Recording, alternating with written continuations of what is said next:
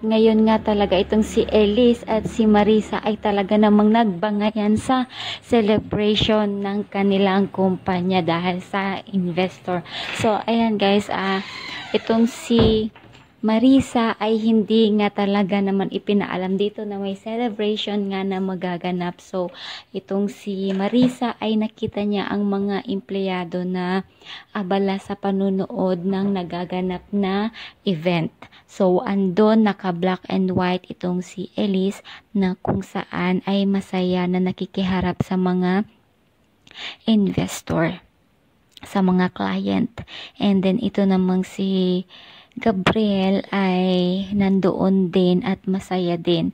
At kahit na nga nalaman na ni Gabriel na alam na ni Elise ang lahat, eh, itong si Elise ay tinanggap pa rin si Gabriel. Nagsasama sila pero hindi masaya kasi ipinaglalaban pa din ni Elise na asawa niya itong si Gabriel.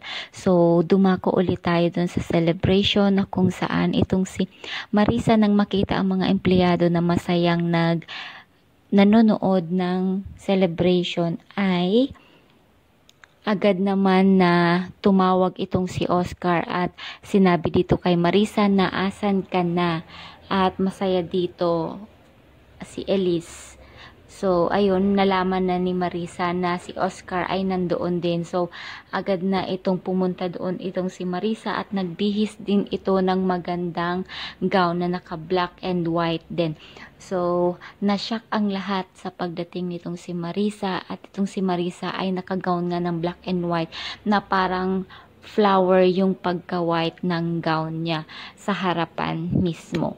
So, pagdating ni Marisa ay nasyak itong si Elise dahil nga hindi niya talaga ito ipinaalam at nagtanong pa itong si Marisa bakit hindi niya alam ang event na ito at hindi niya wala siyang natanggap na letter about dito. At ayun, uh, after noon ay nagkaroon ng isang hidwaan itong si Marisa at si Elise na kung saan ay sinabihan ni Marisa itong si Elise na ipokrita. So, ayan, masama yung nabitiwan na pananalita ni, uh, ni Marisa at itong si Marisa ay hindi pa talaga nakontento kundi pinutol pa ang kwintas na suot-suot nitong si Elise at nagalit doon si Elise at uh, sinampal niya itong si Marisa at ganoon din si Marisa ay gumanti din ito sa kanya. Mm, dalawang beses silang sampal sa bawat isa at nagsalitaan ng, man, ng masasakit sa bawat isa. At itong si Marisa ay uh, talagang gulat na gulat sa ipinakita nitong si Elise na tapang at galit. At itong si Elise naman ay sinabihan niya pa itong si Marisa na alin ang mas masakit. Yung sab yung yung mga agaw at sinabihan pa ni Elise itong si Marisa na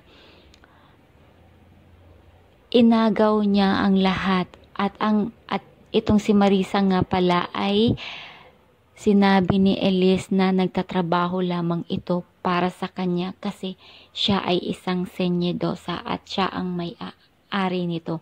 At ngayon at pagkatapos ng event na yon ay mayroong letter na nabasa itong si Marisa at siya ay terminated na nga. So, tinerminate siya nitong si Elise na bilang empleyado dito sa Senyedosa.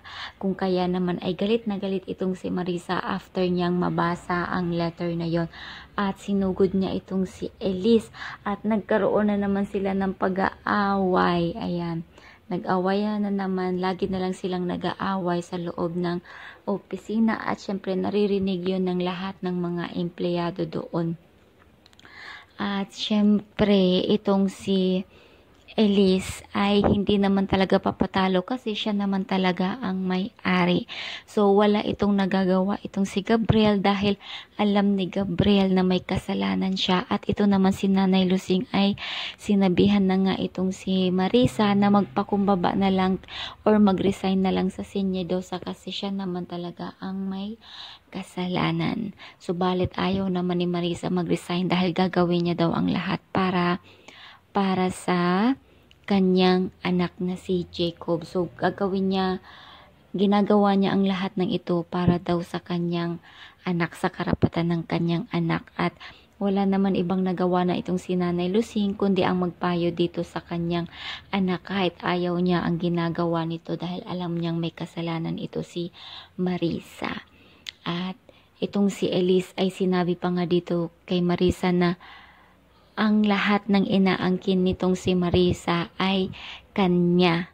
At wala doon na naisagot itong si Marisa dahil kanya naman talaga ang lahat inaagaw lang ni Marisa. Dahil nga sa matinding galit at gustong maghiganti